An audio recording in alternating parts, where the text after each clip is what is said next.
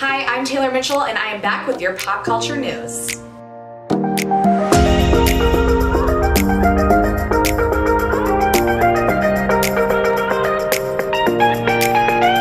Many celebrities have been giving back throughout the coronavirus pandemic, including Jay-Z, Dolly Parton, Oprah, Leonardo DiCaprio, and many more, including singer-songwriter Pink.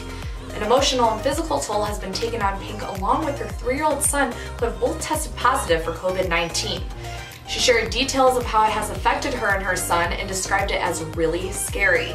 After revealing her diagnosis, she also pledged $1 million to help the crisis.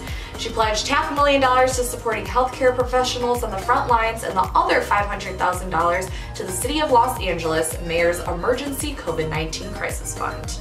A new YouTube series called Some Good News hosted by actor John Krasinski launched last week and the show has gotten positive feedback from fans.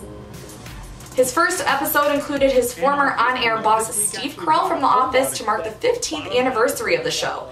His show highlights some good news from around the world and returned with his second episode on Sunday night, and there will be many more episodes to come. Celebrities around the nation have been affected by the coronavirus, including 20-year-old rapper YNW Melly.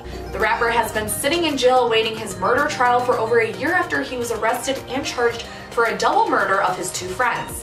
He is now asking the judge to be placed on house arrest and treated at a medical facility at his own expense. According to TMZ, he says he's on the verge from dying from COVID-19.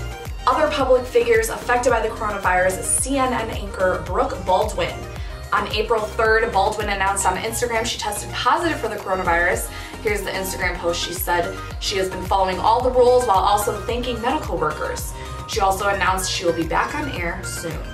Baldwin is the second high-profile CNN anchor to test positive for the virus. CNN anchor Chris Cuomo announced on Twitter last week that he tested positive but is continue working from home while being quarantined in his basement. We have our What to Watch segment. Netflix began releasing a list of top 10 movies and series each week. Right now, the doc series Tiger King is at number one, followed by the drama TV series Ozark coming in at number two. The drama is about a financial planner who relocates his family from Chicago to a summer resort community in the Ozarks. The family is on the move after money laundering scheme goes wrong. And if you're more into Hulu, a comedy drama series called Brockmire is a trending show on Hulu.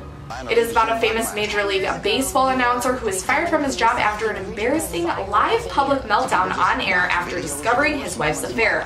He decides to reclaim his career and live life in a small town a decade later.